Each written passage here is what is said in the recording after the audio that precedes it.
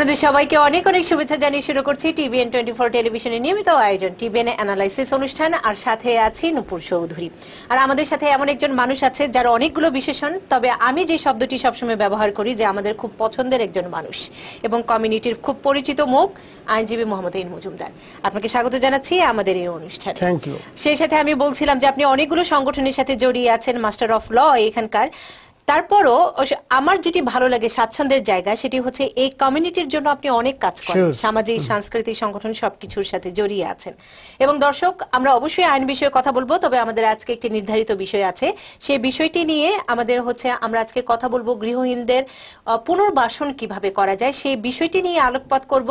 এবং আপনাদের যদি কোনো প্রশ্ন থাকে থাকে মতামত আইন বিষয়ে তাহলে সরাসরি যুক্ত হতে পারেন। আমরা সরাসরি আছি six four six three zero seven nine eight two eight এই নম্বরে। এছাড়া সরাসরি আছি ফেসবুকে W W dot Facebook dot com slash TVN twenty four USA Mohammad N Majumdar এমন একটি বিষয় আমরা সবসময় বেছে নিই আপনি থাকলে যেটি হচ্ছে আমাদের এখানকার কমিউনিটি বলি এখানকার মানুষের সাথে ভাগ্যের সাথে জড়িয়ে থাকে বিষয়গুলো। আপনি বলছিলেন আমি অনুষ্ঠানের শুরুতে জিজ্ঞেস করছিলাম যে আজকে আমরা কোন বিষয়টি নিয়ে আলোচনা করব। আপনি বলছিলেন যে এই বিষয়টি গৃহহীনদের যে আশ্রয় পুনর্বাসন যে জায়গাটি সেটি নিয়ে আলোচনা করা যায়। সূচনাতে কি বলবেন? সো থ্যাংক ইউ এটা একটা অত্যন্ত জনগুরুত্বপূর্ণ বিষয়। কারণ নিউ ইয়র্ক শহর one of the biggest and cosmopolitan city in all over the world কারণ পৃথিবীর সারা দেশের শান্তিকামী, গণতন্ত্রকামী এবং যারা উচ্চবিলাসী বেটার লাইফের জন্য এখানে আসে। এর ফলে এখানকার জীবনযাত্রা one of the expensive city বলা যায়। সেই কারণে বাল্ক অ্যামাউন্ট অফ মানি মানুষের ইনকামের কোনো কোনো ক্ষেত্রে সিক্সটি কোনো কোনো ক্ষেত্রে এইটি পার্সেন্ট ইনকাম মানুষ শুধু গড়বার পিছনে দিতে হয়। এটা হলো বাস্তব সত্য। এর ফলে দেখা যায় একটা এক শ্রেণির মানুষ তাও ইনকাম কাজ না থাকার কারণে চাকরিহীনতার কারণে শারীরিক অসুস্থতার কারণে বিভিন্ন কারণে মানুষ গৃহহীন হয়ে যায়। এদেরকে এখানকার বাসায় বলা হয় হোমলেস ওই হোমলেসদেরকে পুনর্বাসন কথা অথবা শেল্টার দেওয়ার জন্য সিটিতে হাজার হাজার হোমলেস শেল্টার আছে। এবং ওই শেল্টারগুলো বিভিন্ন ভাগ বিভক্ত। পথে ঘাটে আমরা তো অনেক মানুষকে শীতের মধ্যেও শুয়ে থাকি হ্যাঁ family shelter adult men shelter women shelter হ্যাঁ যেটা বললেন যে এত শেল্টার ফরও রাস্তায় আসে। এটা হলো মেন্টালি সিক লোক কতগুলো আছে।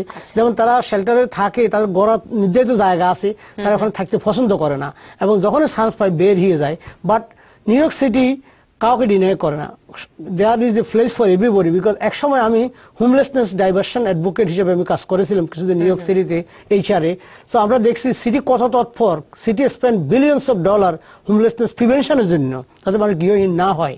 এবং গৃহহীন হওয়ার পরে পুনর্বাসন করার জন্য মানুষ আরেকটা আছে এবং হাজার হাজার হোমলেস অ্যাডভোকেট আছে কেজ ওয়ার্কার আছে এইচআর এমপ্লয়ি আছে। জব সার্চ করতেছে হাউজিং সার্চ করতেছে section eight Mitchell Lama affordable housing so there are so many program there are so much money government spend করতেছে হাজার হাজার বিল্ডিং নিউ ইয়র্ক সেকশন এইটের building জনগণের কল্যাণে। এবং এটা ঘাটতি পূরণ হয় না সেই জন্য প্রাইভেট বাউচার দিচ্ছে। So city is doing everything possible to reduce the homeless homeless population এবং হোমলেসদেরকে পুনর্বাসন করার জন্য। সো এখানে এখানে হয় কি অনেক ক্ষেত্রে দেখা যায় কিছু কিছু হোমলেস শেল্টার জনগণের যেমন কিছু কিছু জায়গায় যেমন এই সমস্ত হোমলেস শেল্টার দেওয়া হয়, সেখানকার ইকোনমির জন্য এটা চ্যালেঞ্জ হয়ে দাঁড়ায়, সেখানকার রেসিডেন্সের জন্য একটা একটা বিরাট চ্যালেঞ্জ হয়ে দাঁড়ায়। যেমন সম্প্রতি আমাদের এখানে ফার্চেস্টারে একটা শেল্টার অলমোস্ট আসে যেতেছে সেই শেল্টারটা এমন জায়গায় আসতেছে যেটা লাইব্রেরির সামনে স্কুলের সামনে প্লেস অফ ওয়ার্শিপ এবং এবং ডে কেয়ারের সামনে। এতে করে এই শেল্টারের ফলে আমরা ফাকসেস্টারে আপনারা যারা যারা সচেতন মানুষ দেখবেন এখানে ন্যাশনাল নিউজের সমস্ত নিউজ পেপাররা সেখানে আমরা যে রালি করেছি এখানে না করার জন্য গুমলের শেল্টারের বিরুদ্ধে না শেল্টার লোকেশনটা যেন ওখানে না হইয়া এটা কোথাও একটু আইসোলেটেড জায়গাতে হয়। কারণ মেন শেল্টার যারা কনভিক্টেড ক্রিমিনাল কিছু লোক আছে এদেরকে দেওয়া যদি রেসিডেন্স এরিয়াতে দেওয়া হয় এটা জ- গণস্বার্থ বিঘ্নিত হয় ছেলে মেয়েদের লেখাপড়া বিঘ্নিত হয় ধর্মীয় উপাসনালয় অনেক কিছুর ক্ষেত্রে কিন্তু নেতিবাচক প্রভাব পড়ে। আমরা একটা প্রশ্ন নিয়ে নিই তারপরে আমরা. আসব এবং আমরা পুরো অনুষ্ঠান জুড়ে এই বিষয়টি নিয়ে আলোচনা করব। কে আছেন দর্শক আমাদের সাথে? আব্দুর রকিব বলছি নিউ জার্সি থেকে। সালাম আলাইকুম। ওয়ালাইকুম আসসালাম। লতিফ ভাই আপনার প্রশ্নটি? আহ, প্রশ্নটি জিজ্ঞাসা করতে যে সিএসপি এর যে ফর্মটা বা এই যে আহ, ইয়েটা দেওয়া লাগে কখন দেওয়া লাগে কোন সময়? ওয়েল এটা হলো সিএসপি?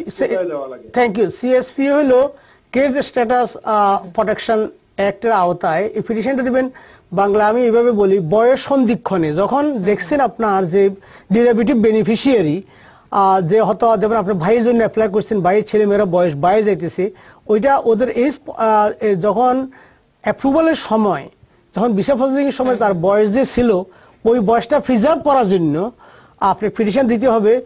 ন্যাশনাল ভিসা সেন্টারে যাতে যাতে তারা ওই তাদেরকে আন্ডার এজ হিসেবে বিবেচনা করে যেন ভিসা দেওয়া হয়। সুতরাং এটা আপনি যখনই মনে করেন যে এদের বয়স অতিক্রম করছে তখনই দেওয়া উচিত।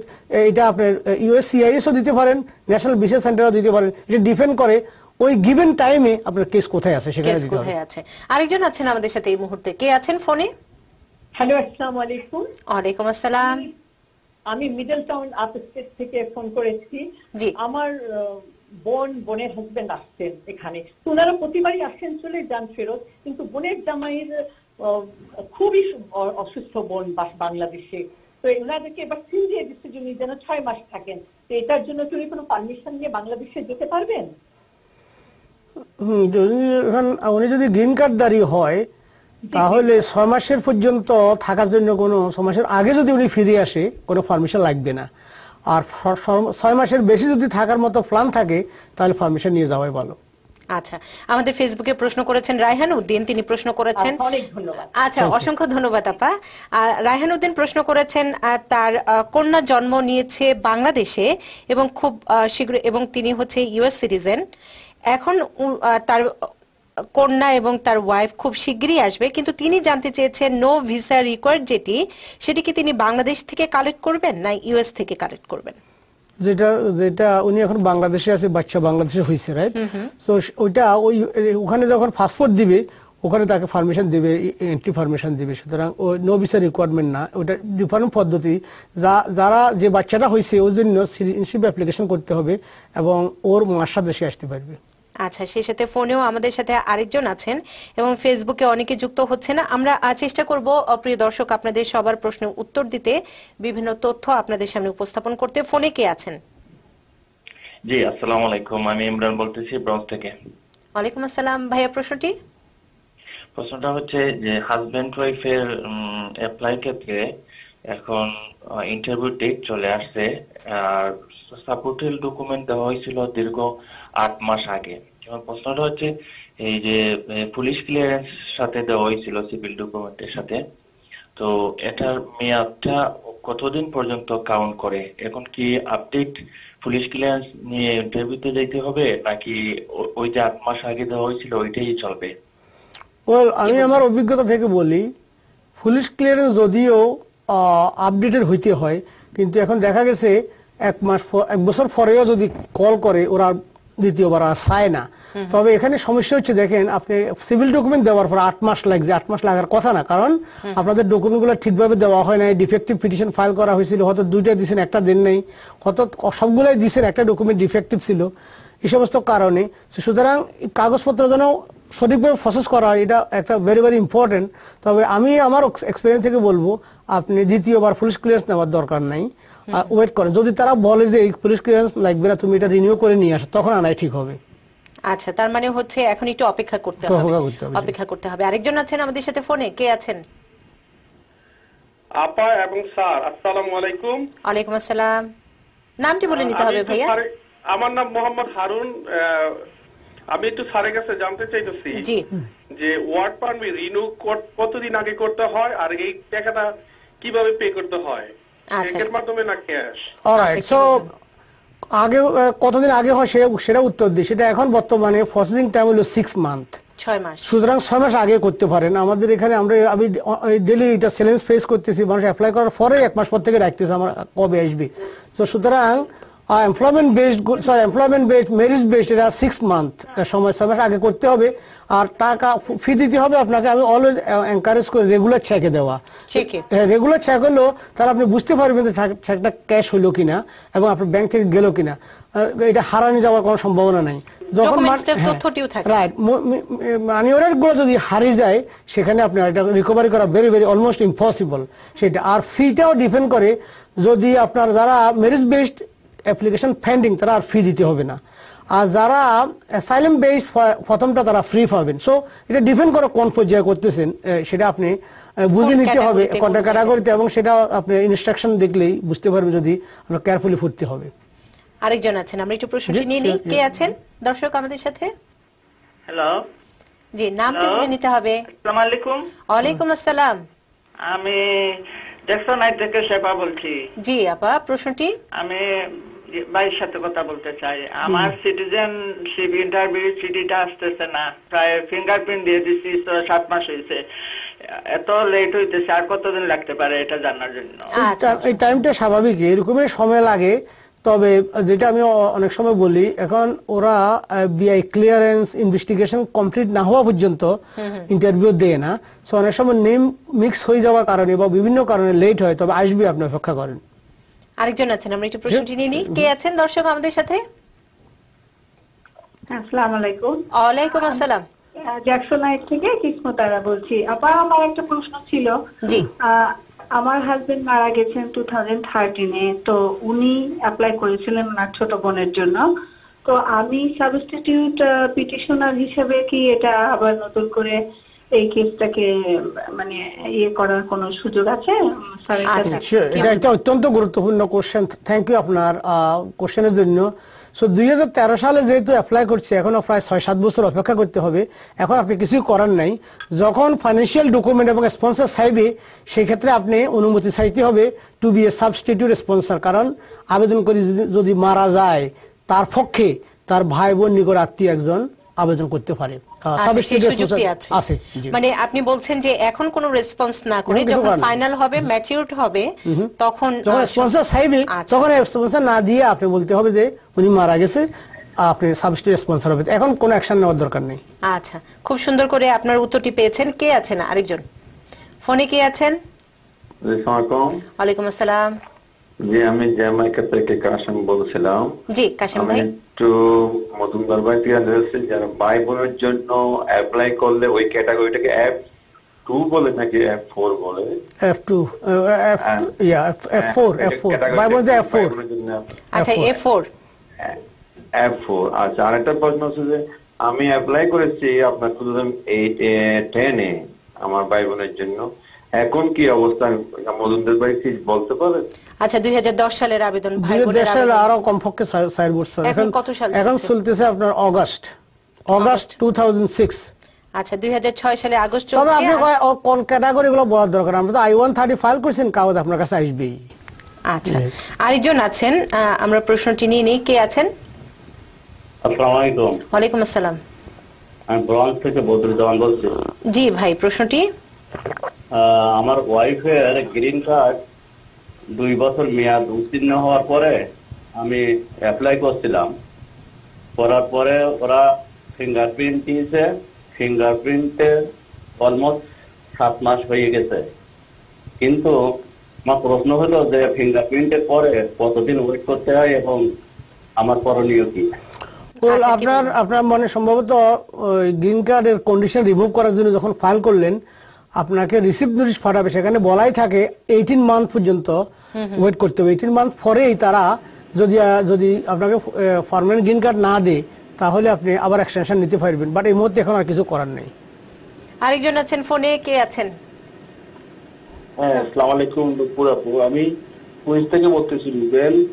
আমি জানতে চাচ্ছিলাম জি। আপনার ওই যে গ্রিন কার্ডের ওয়াইফের আমার গ্রিন কার্ডের মেয়াদ ছিল দুই বছর। এটা আরও চার মাস আছে এক্সপায়ার হয়ে যাবে। আমি কি এখন অ্যাপ্লাই করতে পারব? না ওই এক্সপায়ার হওয়ার কতদিন আগে অ্যাপ্লাই করতে হবে? আচ্ছা। আপনি এখন অ্যাপ্লাই করতে পারবেন। এখনই আবেদন করতে পারবেন। ছয় মাস আগে থেকে আপনি বলছিলেন যে আবেদন করা যায় সবকিছু। আহ, আরেকটি আহ, প্রশ্ন তানভীর আহমেদ তিনি প্রশ্ন করেছেন আহ, উনার father BD with green card he will come back to USA after Eid but he will come back till more then six month মানে উনি জানতে চাচ্ছেন উনার বাবা গ্রিন কার্ড দিয়ে বাংলাদেশে গেছে। উনি ছয় মাসের বেশি থাকতে চান এখন বাংলাদেশে যদি ঈদ করে আসেন। তাহলে কি কোনো সমস্যা হবে কিনা?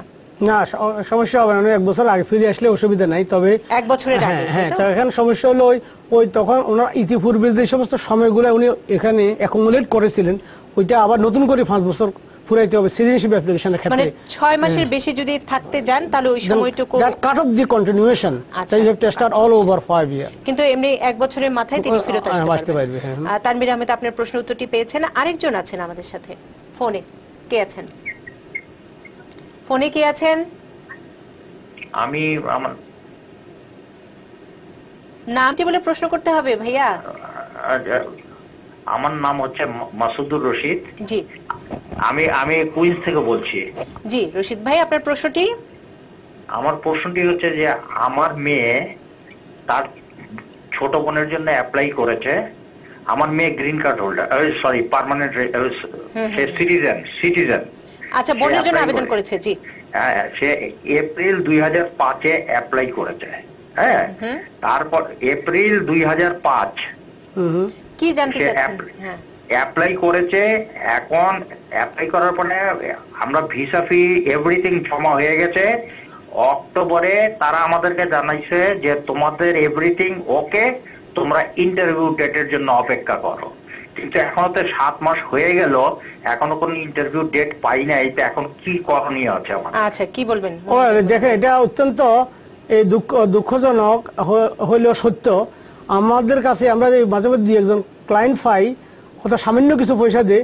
এই যে এটা নিয়ে দিনটা মানুষ কল করে ইমিগ্রেশন তারা ন্যাশনাল বিশেষ অত্যন্ত স্লো কোনো কোনো ক্ষেত্রে। তো আমাদের বেস্ট হবে আপনারা মাঝে মধ্যে ইমেল দিবেন। এছাড়া কিছু করার নাই। যদি ওরা না পাঠায় ইটস অলমোস্ট ইম্পসিবল কিছু করা নয়। এবং কি লয়ের পাঠাইলেও তারা বলে স্টিল প্রসেসিং স্টিল প্রসেসিং তো সম্ভবত আপনার কাগজপত্র ত্রুটিপূর্ণ ছিল হয়তো কোনো ডকুমেন্ট লেস ছিল বাট লেস থাকলে আবার আপনি বললেন যে সবকিছু কমপ্লিট হয়েছে।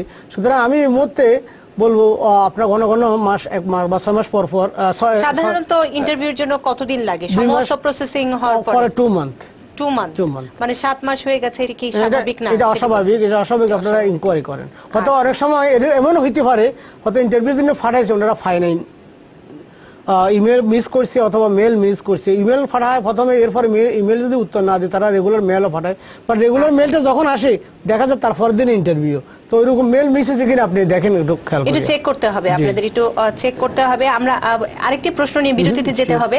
কে আছেন? ফোনে কে আছেন? সালাম আলাইকুম। ওয়ালাইকুম আসসালাম। তারা বলছি জ্যাকসন হাইট থেকে একটু আগে আপা আমি ফোন করেছিলাম কিন্তু প্রশ্নটা আমার কাছে ক্লিয়ার হয়নি জন্য আবার কল করলাম। আমার প্রশ্নটা ছিল আমার হাজবেন্ড ওনার ছোট বোনের জন্য টু থাউজেন্ড সেভেনে অ্যাপ্লাই করেছিলেন কিন্তু উনি মারা গেছেন টু থাউজেন্ড থার্টিনে তো আমার হাজবেন্ডের বোনের জন্য ছোট বোনের জন্য আমি এই কেসটাকে কীভাবে আর কি স্পন্সর করে নিয়ে আসতে পারি পিটিশনার মারা গেলে কি কেস ক্লোজ হয়ে যায়? না আমার জন্য একটা সুযোগ আছে। এই বিষয়ে আমি একটু স্যারের কাছে জানতে চাচ্ছিলাম আর সেই সাথে বলতে চাচ্ছিলাম যে এই অনুষ্ঠানটা আমাদের অনেকেরই খুবই পছন্দের অনুষ্ঠান। অনেক প্রশ্নই আমরা ক্লিয়ার হতে পারি। তো প্লিজ আপা আমাকে একটু এই বিষয়ে হ্যাঁ অসংখ্য ধন্যবাদ আপা। উনি কিন্তু খুব সুন্দর করে। আপনার এইটা উত্তর আমরা একটু আগে দিয়েছেন হয়তো আপনি ওই সময় টিভিতে ছিলেন না। শিওর আপনি আপনি সাবস্টিটিউট স্পন্সর হইতে পারবেন বাট এই মুহূর্তে কিছু করার নাই। যখনই আপনার স্পন্সর চাইবে ফাইন্যান্সিয়াল এবং সিভিল ডকুমেন্ট চাইবেন তখন আপনি একটা সিম্পল লেটার দিবেন যে পিটিশনার মারা গেছে এবং তার ডেথ সার্টিফিকেট দিবেন এবং আপনার ম্যারেজ সার্টিফিকেট দিয়ে দেখাবেন যে আপনি ওনার স্ত্রী, সুতরাং ওনার পক্ষে আপনি স্পন্সর দিতে পারেন তবে এটা এটা কিন্তু একটা ক্লিয়ার করে নি, এটা একটা ডিসক্রিশনারি ইমিগ্রেশনকে আপনাকে পিটিশন দিতে হবে আপনাকে অ্যাকসেপ্ট করার জন্য অ্যাজ এ সাবস্টিটিউট স্পন্সর তো ইমিগ্রেশন আপনাকে অ্যাকসেপ্ট নাও করতে পারে। না করার কারণ হিসেবে হইতে পারে এরকম। আপনার পিটিশনে প্রমাণ করতে হবে যে, যিনি বাংলাদেশ থেকে আসবেন উনি যদি এই দেশে না আসে, তার অপূরণীয় ক্ষতি হয়ে যাবে। এবং সেটা প্রমাণ করার জন্য দেখাইতে হবে যে, বেশিরভাগ ফ্যামিলি মেম্বার এখানে, তাই দেখা গেল পাঁচ ভাইয়ের ভিতরে সাইড ভাই এখানে আসে গেছে, সে একা। তার তার অন্যান্য বাংলাদেশে বা কেউ নাই। এই জন্য হইতে পারে ভেরি সিক সেখানে তাকে টেক কেয়ার করার ইস্যু হইতে পারে। মেনি মেনি ব্যাপার হইতে পারে বাট সাবস্টিটিউট স্পন্সার আছে। এবং আপনার, পরবর্তী আপনাদের ধন্যবাদ আমাদেরকে দিয়েছেন। আপনাকেও ধন্যবাদ, আপনারা উপকৃত হয়েছেন বা এখানে টিভিতে আসার জন্য সেজন্য আমরা বারো ঘণ্টা কাজ করি অনেক সময় আবার রাত্রে এখানে আসি। তো to give something back to the society কারণ শুধু আমরা পয়সার বিনিময়ে কাজ করি জনগণ যে আমাদের ট্যাক্সে যে আমরা লেখাপড়া করলাম জনগণ থেকে এক- এক ধাপ এগিয়ে যাওয়া মানুষ হিসাবে ফিসে পাওয়া মানুষকে এগিয়ে নেওয়া স- পেশাজীবী ইন্ডাস্ট্রিয়ালিস্ট ধনী কোটিপতি সবার নিজ নিজ অবস্থান থেকে কিছুটা ভূমিকা পালন করতে হয়। সোসাইটির জন্য কিছু না কিছু দায়িত্ব পালন করতে হয় ভূমিকা রাখতে হয়। সেজন্য আমরা এখানে আসি। সবসময় আমাদের যারা অতিথি হয়ে আসেন তাদেরকে ধন্যবাদ জানাই যে এই রোজার মাসেও আমরা কিন্তু সবাই ব্যস্ত নিজের পারিবারিক জীবন আছে তারপরেও আসেন এবং আপনারা এই অনুষ্ঠানটিকে ভালোবাসেন বলেই টিভিএন টোয়েন্টি ফোর টেলিভিশন এই ধরনের অনুষ্ঠানের আয়োজন করে। আরেকজন আছেন এই প্রশ্নটি নিয়ে আমাদের বিরতিতে যেতে হবে। কে আছেন? ফোনে কে আছেন? হ্যালো। জি। ওয়ালাইকুম। আসসালাম। জি আমি ইফতেখার রহমান ভুইয়া বলছি। প্রশ্নটি ভাইয়া? জি আমরা শুনতে পাচ্ছি ইফতেখার ভাই আপনার প্রশ্নটি করুন। হ্যাঁ আমার প্রশ্নটা আমি আমার ভাইয়ের জন্য ফাইল করেছি আহ, ছয় বছর হয়েছে। হ্যালো। জি। জি মানে দুই হাজার তেরো? জি। আচ্ছা। এখন আমার আমার ভাই দুই বছর আগে মারা গেছেন। এখন কি আমার ভাবি কি গ্রিন কার্ড পেতে পারে? আচ্ছা। সেই এটি thank কিন্তু you. ডিফারেন্ট এটা কিন্তু। টোটালি অপোজিট এখন বেনিফিশিয়ারি যখন মারা যায় the case is dead unfortunately কারণ আমি যাকে আনবেন উনি তো মারা গেছিলেন। তো unfortunately there is there is nothing you can do এই ধরনের কল আমরা অল ফিফটি স্টেট থেকে almost on a daily basis পাই যে এরকম। সেটা যদিও মর্মান্তিক দুঃখ but our law is no recourse এরকম কোনো আইন নেই যে Exception নাই, নাই no. আচ্ছা এক্সেপশনও নাই। দুঃখজনক আপনার জন্য এটি আসলে বেদনাদায়ক যে। আবেদন যার জন্য করা হলো তিনি বেঁচে নেই এবং পুরো পরিবারটি কিন্তু আর আসতে পারবে না। আমরা একটা ছোট্ট বিরতিতে যাই। বিরতির পর এসে আমাদের একটি নির্ধারিত বিষয়ও আছে এবং যারা ফোনে অপেক্ষা করছেন আমরা চেষ্টা করব প্রিয় দর্শক আপনাদের প্রত্যেকেরই ফোনগুলো প্রশ্নগুলো নেওয়ার জন্য এবং আমরা চেষ্টা করি। আমাদের যিনি অতিথি আছেন তিনি তার সাধ্যমতো সেই প্রশ্নের আলোকে তথ্যগুলো আপনাদের সামনে উপস্থাপন করতে। নিচ্ছে ছোট্ট বিরতি সাথেই থাকুন। আবারও আপনাদের স্বাগত জানাচ্ছি টিবিএন অ্যানালাইসিস অনুষ্ঠানে এবং সম্মানিত অতিথি হিসেবে আমরা পেয়েছি আজকে আইনজীবী মোহাম্মদ এন মজুমদার। আমাদের একটি নির্ধারিত বিষয় আছে তবে আইনি বিষয়ে বিভিন্ন জায়গা থেকে বিভিন্ন প্রশ্ন করা হচ্ছে সেই তথ্যগুলো উপস্থাপন করা হচ্ছে। ফেসবুকে অনেকে প্রশ্ন করেছেন। আমরা সেগুলো একটু নেওয়ার চেষ্টা করি। তানভীর আহমেদ প্রশ্ন করেছেন উনার ছেলের জন্ম হয়েছে আমেরিকাতে তার বয়স হয়েছে এখন দুই বছর আট মাস। এখন তিনি পাসপোর্টের জন্য আবেদন করতে চান কীভাবে সেই প্রসেসটি পোস্ট অফিসে গো টু অনেকগুলো যেতে হবে, কি অনেক পোস্ট অফিসে এগুলো অবশ্য করে না most of the US post office এখানে দেখবেন সাইন থাকবে যে ইউএস পাসপোর্ট অ্যাপ্লাই করা যায়। সেখানে আচ্ছা, তারা ফর্ম দিবে হ্যাঁ পোস্ট অফিসে হ্যাঁ। সেখানে আপনি অ্যাপ্লিকেশনটা ফিল আপ করবেন ফি দিবেন তারা ইনস্ট্রাকশন সবই দিবে দেন ডাকে চলে আসবে আপনার পাসপোর্ট মানে পোস্ট অফিসে গেলে তিনি অন্যান্য যে সহযোগিতা সেটাও পাবেন সব পোস্ট অফিসে না কিছু কিছু পোস্ট অফিসে এখানে কাউন্টার আছে ইউএস পাসপোর্ট করা হয়। আচ্ছা। আপনার খবর নিতে হবে অনলাইনে যদি এমনি গিয়া খবর নিতে না চান অনলাইনে খবর নিতে পারেন অথবা নিকটবর্তী আপনার যে পোস্ট অফিসে খবর নিতে পারেন তারাই বলে দিবে আমার এখানে নাই বা ওইখানে যাও। ওইখানে যাও। নাদিম চৌধুরী তিনি অনুরোধ করেছেন আমি বলব যে এই প্রোগ্রামটির সময় আরও বাড়ানো যায় কিনা। আপনার যে আবেদন সেটি কর্তৃপক্ষের কাছে জানিয়ে দিব তবে আমাদের রাত নটা থেকে দশটা প্রাইম টাইম নিউজ তারপরে হচ্ছে আমাদের এই অনুষ্ঠান তারপরে এগারোটায় হচ্ছে আমাদের আবারও সংবাদ। যে কারণে এই সময়টি আমাদের লিমিটেশন থাকে সীমাবদ্ধতা থাকে যেহেতু আমাদের সংবাদ যায় প্রায় প্রতি ঘন্টায় ঘন্টায় দু ঘণ্টা পর পর আমাদের সংবাদগুলো যাচ্ছে। আহ, ফোনে আছেন। কে আছেন? হ্যালো। জি নামটি বলে নিতে হবে। আমি Noor Mohammad Mamun New Middletown থেকে বলছি। আমি। দুই সালে গ্রিন কার্ড পেয়েছি তো পার্মানেন্ট রেসিডেন্ট। তো আমি ওই ঢাকায় আমার যাওয়া আসা সবসময় হয়। আহ, যাওয়া আসা করি। তো এবার আসার সময় আমাকে দেখে তারা ওই একটা সিল মেরে দিল সিল মেরে দিল ওই ছয় মাস এখানে থাকতে হবে। এখানে একটা সিল এই লিখে দিল আমার কম্পিউটার কিছু গেল তা আমি জিজ্ঞেস করলাম কই না ছয় মাস তুমি ই করবা। তো এখন আমার ইমার্জেন্সি ঢাকা যাওয়া দরকার কি এখন যেতে পারব কি না কোনো প্রবলেম হবে কি না আসার সময়? এটা আমি আমি আচ্ছা, আমি আপনাকে বলব সেটা এই ক্ষেত্রে আপনি ফেরল পারমিশন নিয়ে যাওয়া ভালো হবে। I one thirty one file করিয়া গেলে আহ, ভালো হবে। একটা বই দিবে আপনি আসতে আর আপনাকে জিজ্ঞাসাবাদ করবে না। তবে একটু মোহাম্মদ এন মজুমদার আমি একটু অন্যভাবে প্রশ্নটি একটু সাধারণভাবে করতে চাই যে আমরা অনেক সময় গ্রিন কার্ডটি নিয়ে খুব বেশি যাওয়া আসা করি। আমরা শুধু গ্রিন কার্ডটি বাঁচিয়ে রাখার জন্য এখানে অল্প কিছুদিন স্টে কিন্তু বাংলাদেশে আমাদের সমস্ত কিছু থাকে। কিন্তু আমরা গ্রিন কার্ডটি তো নিচ্ছি যে আমি এই প্রতিশ্রুতিতে যে আমি এই দেশে স্থায়ীভাবে বসবাস করব। যে কারণে কিন্তু অনেক সময় সমস্যা হয়। সেই জায়গাটি থেকে আপনার কি পরামর্শ কিংবা তথ্য থাকবে? রাইট এখানে যখন যাকে গ্রিন কার্ড দেওয়া হয় যদিও কেউ এটা ফয় না সেখানে অনেকগুলো নীতিমালা রুল আছে। আপনার ইন্টেনশন আপনার আপনাকে এক্সপ্রেস করতে হবে আপনার intention to be a permanent resident of the United States এটা হলো আপনার ইচ্ছা। এবং এই ইন্টেনশনটাকে ম্যাটেরিয়ালাইজ করার জন্য you have submitted many document এবং গভর্নমেন্ট সেটা অ্যাকসেপ্ট করে আপনাকে গ্রিন কার্ড দিয়েছে। আচ্ছা এরপরে এটার কাউন্টারি কাজগুলো আপনি করতেছেন ঘন ঘন আস যাইতেছেন ঘন ঘন আসতেছেন লেখাপড়া সেখানে করতেছেন বা সেখানে চাকরিও করতেছেন। দ্যাট মিনস আপনার আপনার উদ্দেশ্যটা আপনার ডোমিসাইলিয়ারি ইন্টেনশনটা হচ্ছে লুক লাইক বাংলাদেশেই বেশি। সেক্ষেত্রে ওরা রিভোকেশন সেক্ষেত্রে গ্রিন কার্ডের নীতি অনুযায়ী তারা গ্রিন কার্ডটা রিভোক করতে পারে। এবং পরবর্তীতে এক পর্যায়ে বলতে পারে you better go back and and come back on your ready somebody apply করলে আবার আসবেন। এরকম বলতে পারে।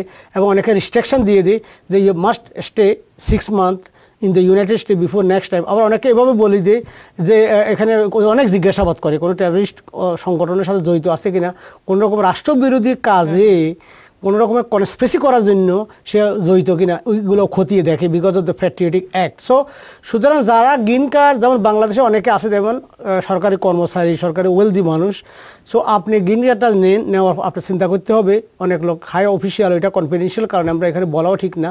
সো আপনার এটা অলওয়েজ একটা রিস্ক থাকে এবং এই রিস্ক আমরা অলওয়েজ ফেস করতে দেখছি ওনাদের সাবধানে থাকা ভালো। থাকা ভালো আর থাকা ভালো। আমরা আরও একটি কি দুটি প্রশ্ন নিব একদম অনুষ্ঠানের শেষ প্রান্তে। কে আছেন? ফোনে কে আছেন?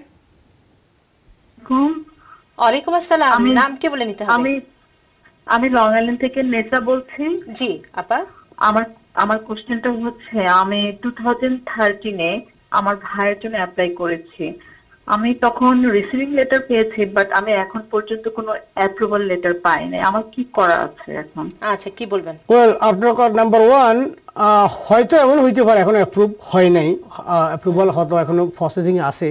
মানে একটা অত্যন্ত সম্ভাবনাও আছে যে এটা অ্যাপ্রুভাল করার জন্য হয়তো কোনো অতিরিক্ত কাগজপত্র হয়তো চাইছে। এরকম কোনো মেল মিস করলেন কিনা সেটা আপনি ইউএসসিআইএস ডট গভ গিয়ে এখানে কেস স্ট্যাটাস অনলাইন সেখানে আপনার কেস নাম্বারটা দিলে ইএসসি বা ডাব্লিউএসসি ওই নাম্বারটা দিলে সেখানে বলবে যে এটা অ্যাপ্রুভ হয়েছে কি, হয় নাই বা কোনো ডকুমেন্ট শেষ ছিল কিনা। এটা হলো ওয়ান থিং আর আমরা সবাইকে অলওয়েজ বলি যে আপনার যে আপনার যে ঠিকানায় থাকেন সেই ঠিকানায় যে মেল বক্স যদি নাম, আপনার মেল বক্স যদি একটা যেমন থ্রি ফ্যামিলি হাউস বাক্স তিনটা সেখানে আসে আর কার কোনটা কোনো নির্ধারিত নয় সেক্ষেত্রে অনেক সময় গুরুত্বপূর্ণ সিটিগুলো না দিয়ে ইউএসসিআইসি ফেরত নিতেও পারে।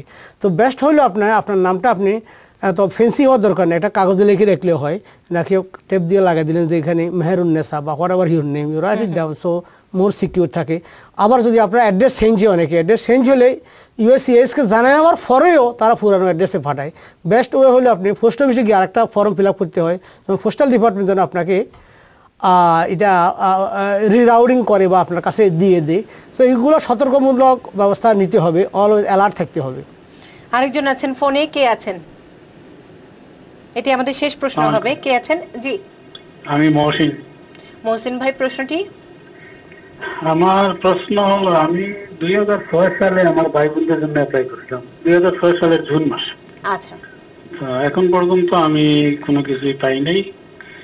মানে কখন ওদেরকে ডাকবে বা ভিসা সিটি কখন দিতে হবে আমি কোনো কিছুই পাই নাই। আর সেকেন্ড প্রশ্নটা হলো আমি যখন অ্যাপ্লাই করি আমার দুই ভাইয়ের বাচ্চা ছিল পরে আরও বাচ্চা হয়েছে।